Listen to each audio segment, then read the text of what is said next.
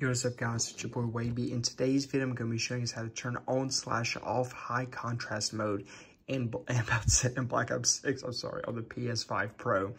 Um, so what high contrast is, it kind of makes the, con the co contrast of the colors, it kind of, it increases it. It's kind of similar to HDR mode. I personally don't like it. I had it on without knowing.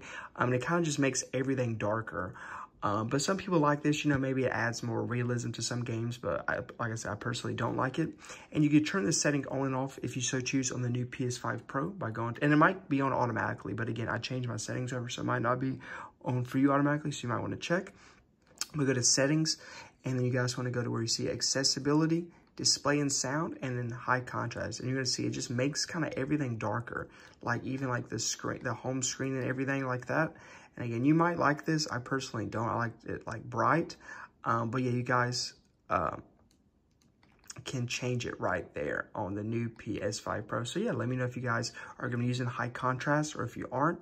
And I hope you guys enjoy this video. And I'll see you all in the um, next one. Peace.